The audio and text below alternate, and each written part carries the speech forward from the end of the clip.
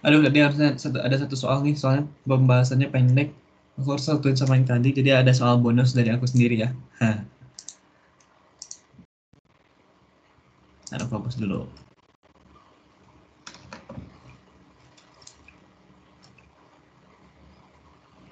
Soalnya adalah, jika aku punya fx, dibagi menjadi selang dari ini, 3x tambah 3 untuk x kurang dari sama dengan 3 terus negatif 6x tambah 30 untuk 3 x 8 nah. Terus ada 6x dikurangi 66 untuk x lebih dari sama dengan 8 ya. Terus yang ditanya adalah integral f aksen x dx dari 2 sampai 9. Nah, lo ini gimana caranya? Gampang, jangan panik. Perhatikan bahwa integral dari f aksen x adalah f, f, f, f itu sendiri gitu, fungsinya sendiri gitu. fx ada gitu, jadi fx gitu. Kalau integral dari f aksen x jadi fx doang, ya kan? Berarti integral dari f aksen x uh, dari dari 2 sampai 9 hanyalah f9 ya, f9 dikurangi f2 gitu. Ini dari ini kan berarti sama ya jadi F9 kurang F2 di mana F-nya adalah ini.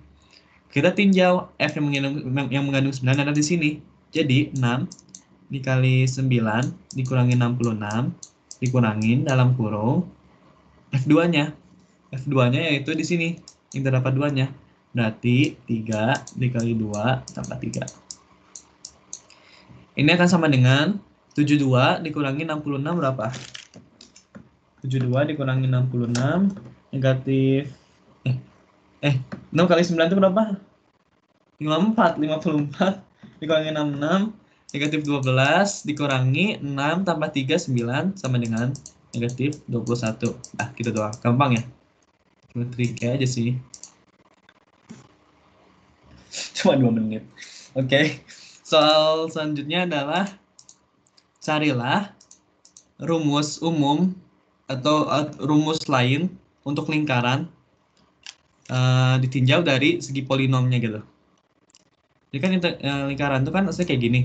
Bisa dihitung dengan segi 4. Luas segi 4. Tapi errornya ada segini gitu. Ada banyak. Terus lingkaran juga bisa diaproksimasi nilainya dengan segi berapa nih? Begini. Segi 1, 2, 3, 4, 5, 6. 6 kan? Errornya cuma segini, lebih kecil. Berarti kalau seginya menuju tak hingga, ini akan sama dengan pi r kuadrat gitu. Ya. Konsepnya gitu, kita disuruh cari rumus rumusnya gitu.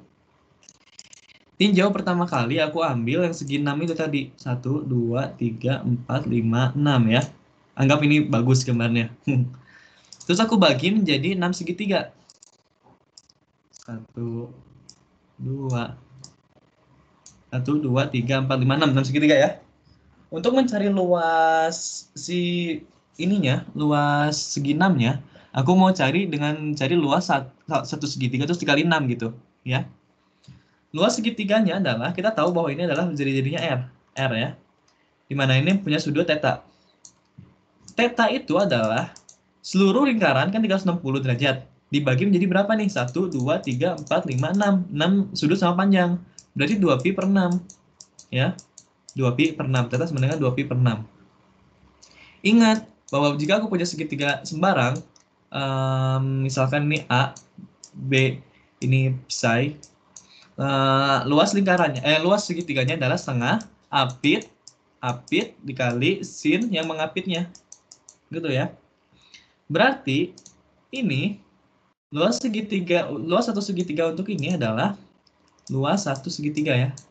Sama dengan Oh, pertama kita harus mencari si ini ya dulu, apa? Si alasnya dulu. Kan luas segitiga, eh nggak usah deh, kita kan pakai pakai caranya itu sama aja. Sama aja deh, bakal sama aja. Berarti luas segit satu segitiganya adalah setengah R kali R kan, L kali R aku jadi R kuadrat dikali sin theta. Di mana sin tetanya adalah 2pi per 6.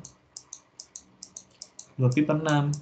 Karena di sini ada 6 lingkaran, eh 6 segitiga, Berarti luas total segitiganya atau luas aproksimasi lingkarannya adalah sama dengan setengah dikali 6 dikali R kuadrat dikali sin dikali E sin 2pi per 6. Perhatiin, ini segi 6, ininya angka 6, ininya angka 6.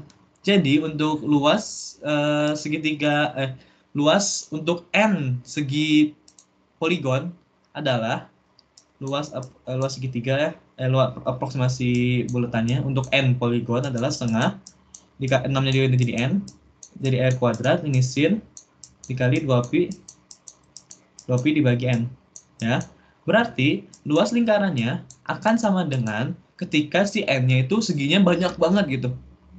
Akhirnya kan nilainya mengaproksimasi tetapi untuk mencapai tahingga, untuk limit n menuju tahingga dari 1 per 2 n r kuadrat dikali sin pi eh 2 pi per n ini berarti akan sama dengan luas e, lingkarannya itu sendiri yaitu sama dengan pi kuadrat. Itu ya, menarik nih soalnya. Gampang. Sekarang karena masih ada waktu 2 menit lagi, aku mau ninjau yang kalau si segi banyaknya itu ada di luar. Misalkan jadi lingkarannya ada di, ada di dalam segi banyaknya gitu. Gini. Nah, lingkaran gitu. Ini juga sama. Kalau segi segi apa? Segi banyaknya itu sudutnya makin banyak atau n menjuta hingga itu akan errornya akan semakin dikit. Sekarang kita ingin menghitung luasnya untuk yang ini. Sama, kita bagi menjadi 6 segitiga dulu dengan kita ketahui theta adalah 2pi per 6 sama kayak yang tadi 2pi per 6 konsepnya sama kayak yang tadi sih berarti kita harus mencari um, luas satu segitiganya. Caranya gimana? Sama aku tarik dulu ke sini. Untuk mencari tinggi segitiganya di mana ini kita tahu ini R. Dan ini adalah theta per 2 nih. Sudutnya adalah theta per 2 atau sama dengan pi per 6 theta per 2 kan sama dengan pi per 6 tinggal dicoret tujuannya ini aku misalkan sama dengan uh, alfa deh ya, sudut alfa nih. Alfa. Berarti aku ingin cari karena luas segitiga itu adalah kita telah jelas nih tinggi segitiganya adalah R, kita butuh alasnya.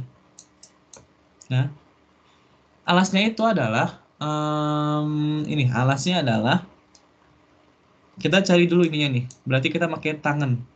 Di mana tan alfa ini akan sama dengan desa depannya ini misalkan aku A ya. A dibagi R. Di mana A adalah 2 tan alfa. 2 tan alfa. Eh, enggak. A sama dengan 2 tan alfa kali R. Karena alasnya itu adalah 2A. ya. Karena alasnya itu adalah 2A. Ini berarti alasnya 2A. Berarti alasnya akan sama dengan 2R tan alfa ya. Kita ubah isi bentuknya biar lebih cantik. Terus luas satu segitiganya adalah tinggal dikali tinggi tingginya adalah R.